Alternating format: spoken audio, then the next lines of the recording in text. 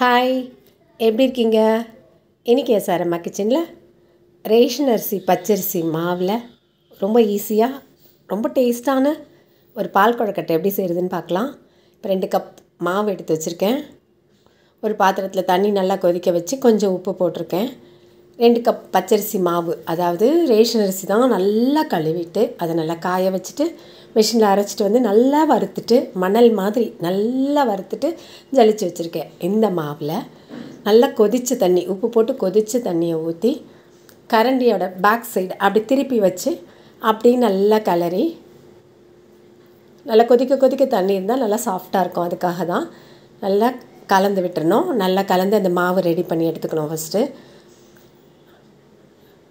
இப்போ நல்லா பிசைஞ்ச மாவில் கொஞ்சம் கொஞ்சமாக எடுத்து குட்டி குட்டி குட்டியாக ரவுண்ட் ரவுண்டாக பால்ஸாக அதை பண்ணி எடுத்து வச்சுக்கலாம். இது கொஞ்சம் நேரம்தான் ஆகும். ஒரு நாலஞ்சு பேராக சேர்ந்து உட்காந்தா மட மடன்னு ஆகிடும். இல்லைன்னா ஒருத்தராக செஞ்சால் நேரம்தான் ஆகும். ஆனால் சாப்பிடும்போது ரொம்ப நல்லாயிருக்கும் அப்படி ஃப்ரீயாக ஏதாவது டிவி பார்த்துக்கிட்டே இந்த மாதிரி உட்காந்து உருட்டி வச்சுக்கலாம். கொஞ்சம் மாவு தண்ணியாக இருந்தாலும் பயப்பட வேண்டியதில்லை. ஒரு பேப்பரில் இதெல்லாம் எடுத்து போட்டு உருட்டி வச்ச பால்ஸில் எடுத்து போட்டு ஃபேன் காற்றுல போட்டுட்டா அது நல்லா காஞ்சிரும். ரொம்ப பிசு பிசுன்னு ஒட்டாது. ஏன்னா அது நல்லா வறுத்த மாவு. அதனால் அது ஒட்டாது. இப்போ நான் வந்து பாருங்கள் ரெண்டு தட்டு நிறைய பால்ஸ் பண்ணி வச்சாச்சு. இப்போது மறுபடியும் ஒரு அகலமான சட்டியில் தண்ணி கொதிக்க வச்சிடலாம். அதுக்கு நடுவில் வந்து அது தண்ணி கொதிக்கிறதுக்குள்ளே நம்ம கொஞ்சம் தேங்காய் ஏலக்காய் சுக்கு மூணுத்தையும் போட்டு அரைச்சி வச்சுக்கலாம். இது தேங்காய் பாலாவும் ஊற்றலாம் லாஸ்ட்டாக நான் என்ன பண்ண போகிறேன்னா அரைச்சி அதில் கலக்க போகிறேன் இப்போ நல்லா தண்ணி மலை மலை மலை மலைன்னு கொதிக்கும்போது நம்ம உருட்டி வச்சுருக்க அந்த பால்ஸ்லாம் எடுத்து கொஞ்சம் கொஞ்சமாக போடணும். மொத்தமாக ஒரே த- தடவையாக கா அப்படியே போட்டுறக்கூடாது. அப்படி போட்டுட்டோன்னா ஒன்றோட ஒன்று சேர்ந்து அப்படியே அது தனித்தனியாக இருக்காது. மொத்த மொத்தையாக வந்துடும் அதனால் தனித்தனியாக வரணும் அப்படின்னா கொஞ்சம் கொஞ்சமாக தான் போட்டு வேக வைக்கணும். இது எப்படி வெந்துருச்சுன்னு தெரியும் அப்படின்னா கீழே அப்படியே போன பா பால்ஸ்லாம் அப்படியே மேலே எழும்பி வரும். வெந்த உடனே இந்த சூட்டுக்கு மேலே வந்துடும் அப்போ மறுபடியும் கொஞ்சம் போட்டுக்கலாம். இப்போ பார்த்துக்கிட்டே இருங்க. கொஞ்ச நேரத்தில் இந்த கீழே இருக்க பால்ஸ்லாம் மேலே வந்துடும் வெந்த உடனே மேலே வந்துடும் பாருங்கள் ஒன்று ஒன்றா மேலே வருது. இப்போது நம்ம உருட்டி வச்ச மற்ற பால்ஸையும் போட்டுக்கலாம். உருண்டைகளையும் போட்டு வேக வைக்கலாம். அந்த மாதிரி தான் கொஞ்சம் கொஞ்சமாக போடணும். மொத்தமாக ஒரே ட்ரிப் கண்டிப்பாக போடவே கூடாது. இப்போ கலந்து விட்டு பாருங்கள் எல்லாம் மேலே வருது. அப்படி இருக்க பட்சத்தில் தான் நம்ம போடணும்.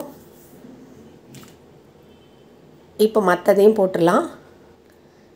இதுவும் வந்து பாதி தான் போட்டிருக்கேன். இன்னும் பாதி இருக்குது அதனால் இதுவும் கொஞ்சம் வெந்து வரட்டும். இதை பாருங்கள் இப்போ மேலே வருது எழும்பி வருது. இந்த மாதிரி மேலே வரும்போது மறுபடியும் வச்சுருக்க மா உருண்டைகள்லாம் போட்டுக்கலாம். இப்படி நம்ம தனித்தனியாக போடும்போது ஒன்றோட ஒன்று சேர்ந்து இல்லாமல் தனித்தனியாக அழகாக இருக்கும். அதுக்காக தான் மொத்தமாக போடாமல் இப்படி போடுறது. ஈஸியாகவும் வெந்துடும் ஒன்றும் கஷ்டம் இல்லை. கொஞ்சம் அகலமான பாத்திரம் வச்சுக்கலாம். இன்னும் கூட கொஞ்சம் பெரிய பாத்திரம் வச்சுக்கலாம். ஏன்னா இது நிறையா இருக்கிறதுனால. ஒன்றும் பிரச்சனை இல்லை. அது பாட்டுக்கு வெந்துட்டுருக்கு. இது வெந்துட்டு இருக்கும்போது திருப்பியும் அதே மாதிரி அது மேலே வரும்போது மத் அடுத்ததையும் போட்டுக்கலாம். நல்லா கொதித்து மேலே வருது பாருங்கள் இப்போ எல்லாத்தையும் போட்டு வேக வச்சிடலாம். மொத்தமாக மொ போட்டுடலாம் இனிமேல். நம்ம ரெண்டு தட்டு மாவு உருட்டி வச்சுருந்தோம். இது ஒரு நாலு தடவையாக போட்டாச்சு. இப்போ இது நல்லா வேகட்டும். அதுக்குள்ளே நம்ம என்ன பண்ணலாம்? அந்த தேங்காய் துருவி வச்சதையும் சுக்கு ஏலக்காய் போட்டால் நல்லா வாசமாக இருக்கும். சுக்கு வேண்டாம் அப்படின்னா ஏலக்காய் மட்டும் போட்டுக்கலாம். ஆனால் கண்டிப்பாக ஏலக்காய் போட்டுக்கலாம். நல்லா இப்போ இந்த இது நல் அதை அரைச்சி எடுத்துகிட்டு வந்துடலாம். நல்லா நைஸாக அரைச்சிடலாம். பாலை பிழிஞ்சும் விடலாம். ஆனால் கொஞ்சம் திக்காக இருக்கும் அப்படின்னா நம்ம வந்து அந்த மாதிரி அரைச்சி ஊற்றிக்கலாம் நம்ம விருப்பம்தான் பாலை போட்டாலும் போடலாம். இந்த மாதிரியும் சேர்க்கலாம். இது வெள்ளத்துலேயும் செய்யலாம் கருப்பட்டிலையும் செய்யலாம். நான் ஏற்கனவே வெல்லம் போட்டு நான் ஒன்று போட்டிருக்கேன் வீடியோ. அதனால் இன்றைக்கி சர்க்கரை போட்டு செஞ்சு போடுறேன் ஒயிட் சுகர் தான். இப்போ வந்து நல்லா கொதித்து இது நல்லா மேலே எல்லாம் வந்து வெந்து வரும்போது அதுக்கப்புறமா தான் நம்ம சர்க்கரை சேர்க்கணும். இதுக்கு வந்து நான் ரெண்டு கப் சர்க்கரை சேர்த்துருக்கேன்.